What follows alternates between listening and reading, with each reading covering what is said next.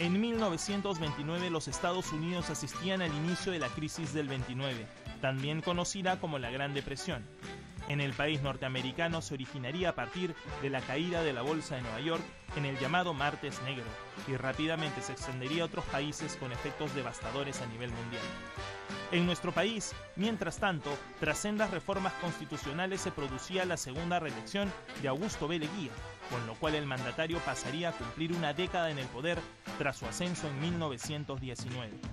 En cuanto a fútbol se refiere, la brillante historia del Club Universitario de Deportes, nombre asumido recién en 1931 en lugar de Federación Universitaria, había comenzado en el año de su debut, 1928. En esa ocasión, mostrando un gran fútbol, llegó a disputar la final ante su rival Alianza Lima, aunque sin poder ganarlo. Sin embargo, en la edición de 1929, la Federación Universitaria conquistó su primer título de campeón, dejando al Círculo Esportivo Italiano como escolta. Aquel torneo contó con la participación de 13 equipos. Alianza Lima, el actual campeón, sería descalificado después de 7 partidos disputados debido a que se negó a ceder jugadores a la selección. El equipo victoriano tenía entre sus filas a figuras estelares como Alejandro Villanueva, José María Lavalle y Jorge Sarmiento. La campaña del equipo de la Federación Universitaria fue impresionante. Su juego aguerrido y vertical le permitió conseguir 17 puntos gracias a sus 7 victorias, 3 empates y solo una derrota. Su delantera marcó 26 goles y su arco defendido por Jorge Alba solo fue vencido en 6 ocasiones. Además, logró consagrar goleador absoluto a su centrodelantero Carlos Silonís con 8 goles.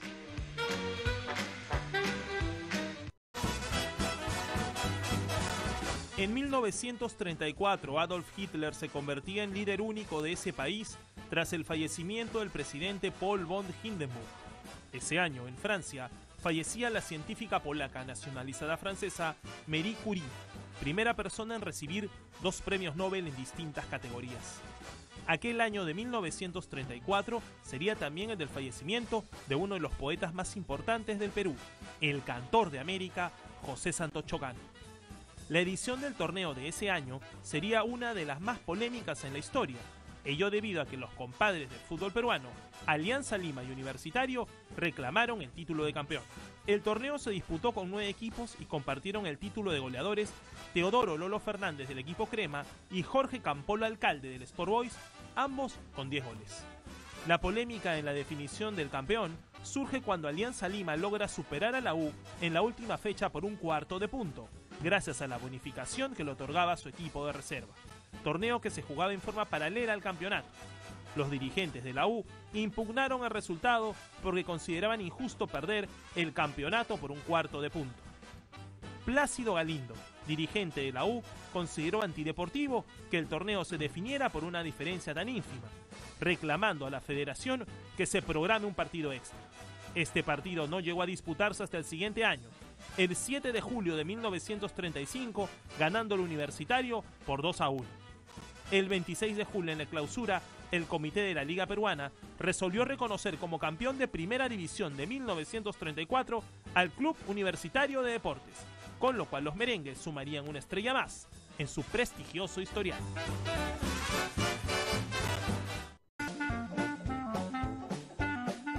En 1939 el ejército alemán, por órdenes de Adolf Hitler, invadía territorio polaco sin ninguna advertencia o declaración de guerra previa. Ante este ataque, Gran Bretaña y Francia inician la movilización de sus fuerzas y se preparan para enfrentar a la Alemania nazi. Ello significaría el inicio de la devastadora Segunda Guerra Mundial. En el Perú, Manuel Prado Ugarteche se colocaba en la banda presidencial al ser electo mandatario nacional con una abrumadora diferencia sobre sus adversarios políticos. Mientras tanto, en la capital peruana se formaban largas colas para adquirir un boleto que le permitiese ver el final del Campeonato Sudamericano de Fútbol. Nuestro país era la sede de la competición y sería también el equipo que la alzaría, al final, con el trofeo de campeón, al vencer en un reñido duelo a la poderosa selección uruguaya. En el campeonato nacional, Universitario de Deportes sería el equipo que gritaría campeón una vez más. El histórico Teodoro Lolo Fernández se proclamaría como el máximo artillero de la competición con 15 tantos. El mismo cañonero había sido también el máximo goleador del sudamericano con 7 goles. Ello le permitió además ser declarado el mejor jugador de la hoy llamada Copa América. El campeonato de la División de Honor de aquel año se jugó sin clásicos, por la ausencia de la Alianza Lima, club que en la edición anterior había descendido a la segunda división. Fueron ocho los equipos que participaron en el torneo de 1939. Atlético Chalaco, Atlético Córdoba, Ciclista Lima, Deportivo Municipal, Sport Boys, Sporting Tabaco, Sucre Fútbol Club y Universitario de Deportes. La campaña crema fue brillante. Con Lolo Fernández en la cúspide de su carrera, la U se impondría cuanto rival tuviese al frente. De 14 partidos, ganó 9 y empató 3, además de marcar en 32 ocasiones. El devastador conflicto que enfrentaba a varias naciones de Europa y el mundo empezaba a dejar heridas muy difíciles de sanar. En el año de 1941, en uno de los puntos más álgidos de la Segunda Guerra Mundial, aeronaves japonesas atacaron Pearl Harbor en Hawái, con lo que destruyeron la flota estadounidense asentada en el archipiélago. Ello ocasionaría que los Estados Unidos, neutrales hasta ese momento, le declaren la guerra a Japón. En respuesta, Alemania e Italia declararían la guerra al país norteamericano. El conflicto entonces empezaba a alcanzar niveles mundiales. En el Perú, mientras tanto, se daba inicio a una guerra peruano-ecuatoriana debido a la disputa territorial entre ambos países. El conflicto se extendería por más de seis meses y dejaría varias bajas en ambas naciones. Por el lado del fútbol, el año de 1941 trajo consigo el cuarto campeonato para Universitario de Deportes. Aquel año el seleccionado peruano tenía el compromiso de participar en el Campeonato Sudamericano. Ello implicó que desde enero el equipo nacional comenzase su preparación.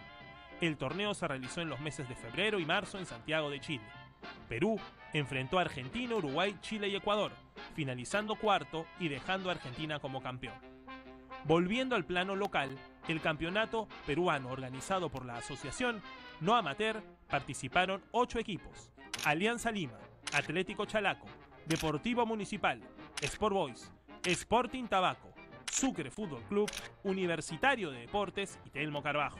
Al llegar a la decimosegunda fecha, tres equipos eran los que disputaban los primeros lugares: Deportivo Municipal, Alianza Lima y Universitario. Sin embargo, el torneo sería suspendido y se reanudaría recién al año siguiente. Entonces el cuadro crema, dirigido por Arturo Fernández, conquistó el título de campeón, ganando sus dos últimos partidos al Atlético Chalaco 1 a 0 y de forma especial a quien ya se había convertido en su clásico rival, Alianza Lima por 3 a 1 con un gol del gran Lolo Fernández.